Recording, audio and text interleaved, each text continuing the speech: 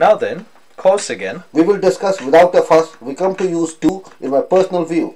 His coarse features explained in a manner rather plain. Three words are enough large, heavy, rough.